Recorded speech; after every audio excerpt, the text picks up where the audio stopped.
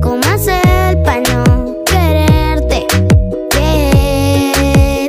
Tú, tú, nadie como tú, tú. No hay un sustituto para ese cuerpo tuyo que a mí ya me tiene cucu.